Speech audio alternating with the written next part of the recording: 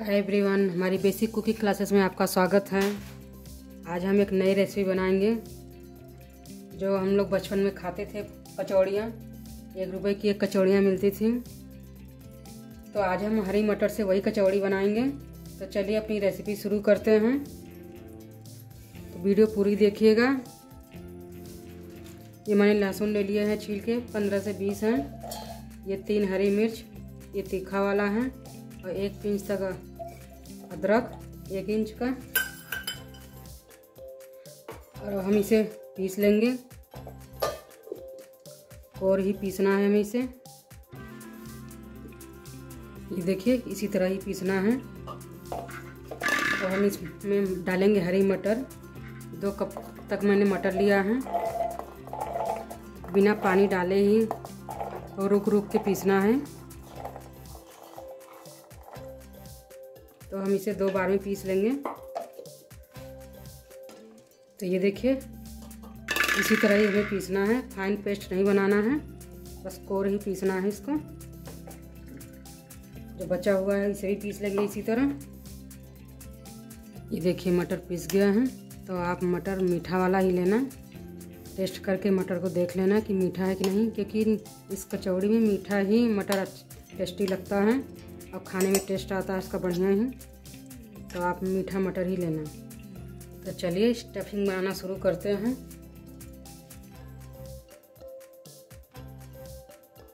Pan चढ़ा दिया है।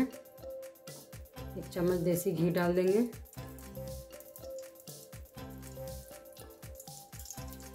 स्टफिंग को देसी घी में बनाने से बहुत बढ़िया टेस्ट आता है। आप किसमें बनाना पसंद करते हैं, तेल या घी में? कमेंट करके ज़रूर बताएँ। एक पिंच हींग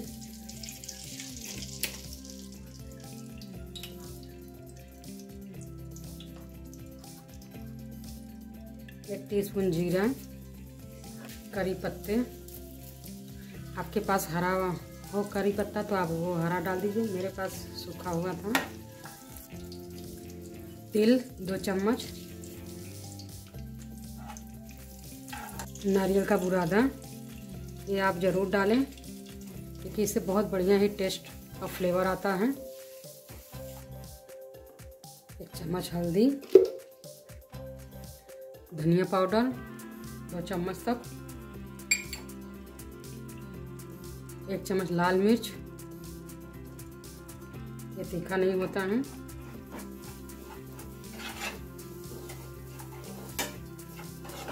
चार चम्मच तक बेसन डालेंगे। भूनने के लिए इसी में।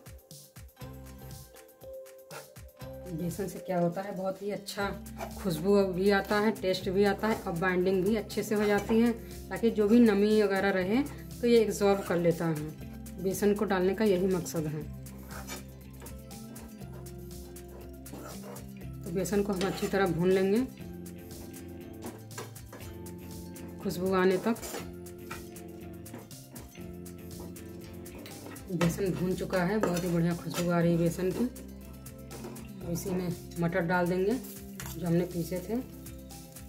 और ही पीसना है। महीन पेस्ट नहीं बनाना है, नहीं तो स्वाद बढ़िया नहीं आएगा।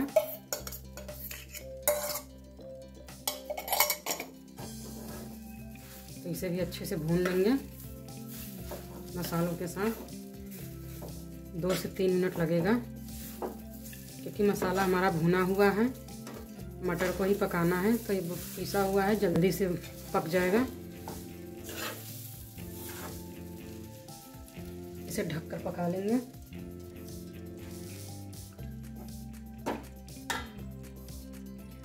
मटर पक गया है इसमें थोड़ा सा नमक डाल देंगे स्वाद के अनुसार।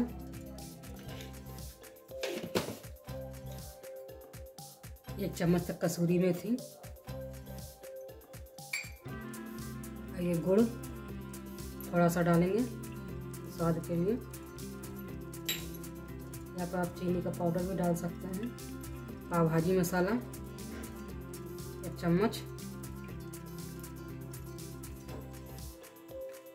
सबको अच्छे से मिक्स कर लेंगे।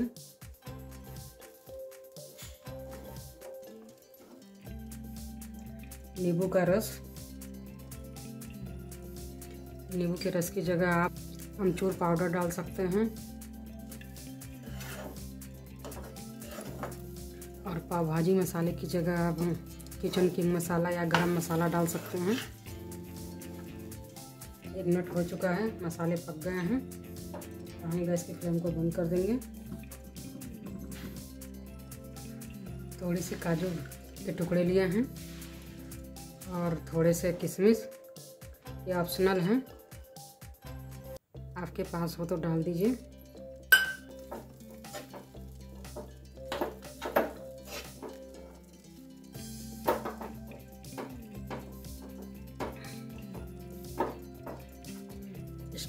बन के रेडी हो गई हैं। फ्रेंड्स, कचौड़ी के लिए आटा ले लिया है। ये गेहूँ का आटा है। ना ही मैदा, ना ही सूजी है। आप चाहें तो आधा मैदा और आधा आटा गेहूँ का ले सकते हैं। मैं हेल्दी बना रही हूँ, इसलिए गेहूँ का आटा लिया है मैंने। एक चम्मच अजवाइन, इसे मैं क्रश करके डाल रही हूँ। इससे इसका फ्लेवर बहुत ही बढ़िया आता है कचौरी में। नमक अपने स्वाद के अनुसार डालें।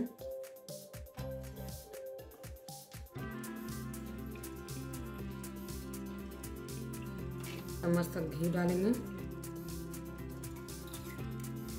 घी का मोहन देने से बहुत ही बढ़िया खस्ता बनता है कचौरी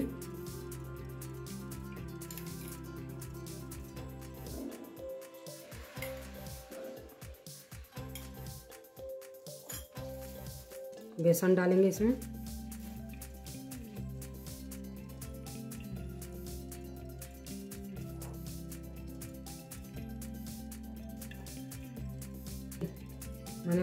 लिया है। बेसन को अब सबको अच्छे से मिक्स कर लेंगे।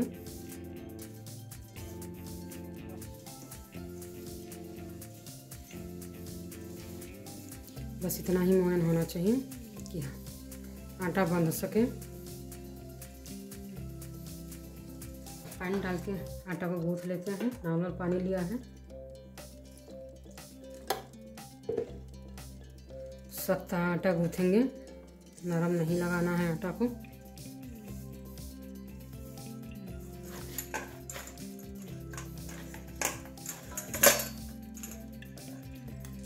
तो इस तरह से हार्ड डो हम लगाएँगे। ना ही ज़्यादा हार्ड है, ना ही ज़्यादा सॉफ्ट है। आप देख सकते हैं। हम आटा को रेस्ट के लिए रख देंगे दस मिनट ढककर।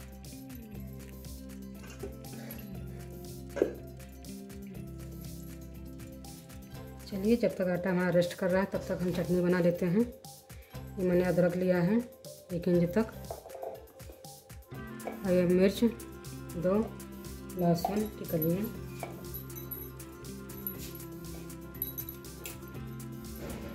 हरी धनिया।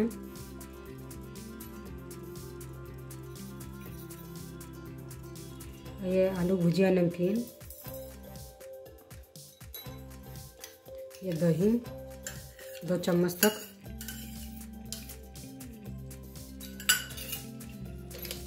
नमक अपने स्वाद के अनुसार।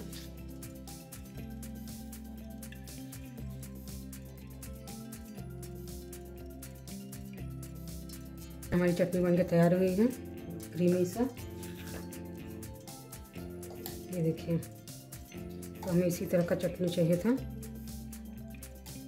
खट्टे के लिए आप थोड़ा सा नींबू भी डाल सकते हैं इसमें।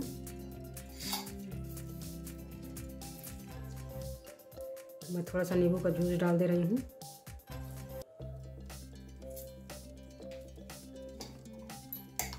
सर्व के लिए तैयार हैं।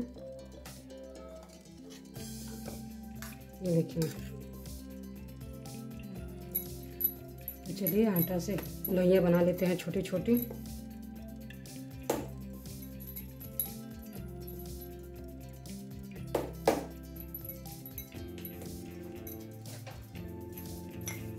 इसे बेल लेंगे।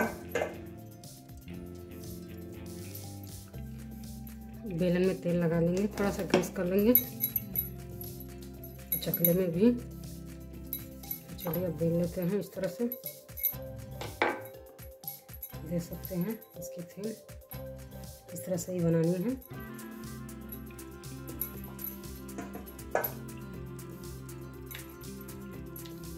कढ़ाई रख दिया है, तेल गरम हो रहा है। तरह से मैंने स्टफ़ की गोलियाँ बना ली हैं। तो ऐसे भरने में आसानी होती है। ये देखिए।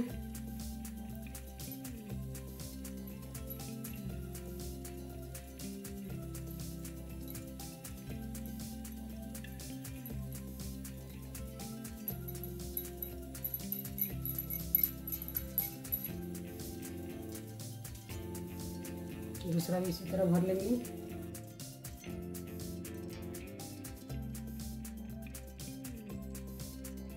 थोड़ी सी आटा डाल के चेक कर लेंगे। तेल बढ़िया गर्म हो गया है। चलिए अब कचौड़ियों को डाल देते हैं।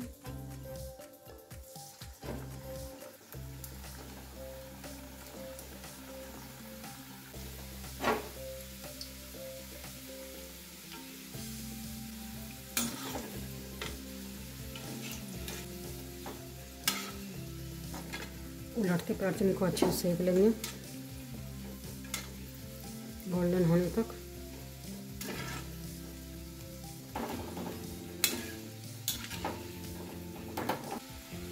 चलिए इनको निकाल देते हैं।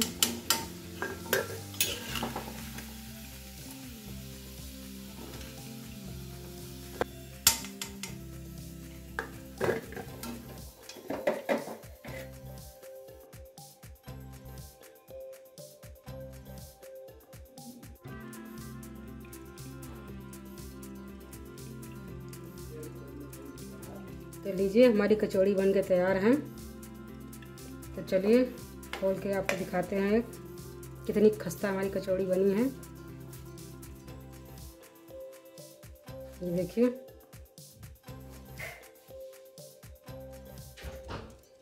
तो आप भी इस तरह से कचौड़ी को बनाएँ और इन्जॉय करें। इसके साथ मैंने चटनी बनाई है।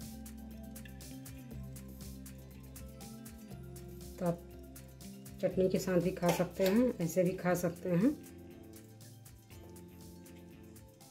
अगर वीडियो अच्छी लगी हो तो वीडियो को लाइक करें, चैनल को सब्सक्राइब करें। Thank you.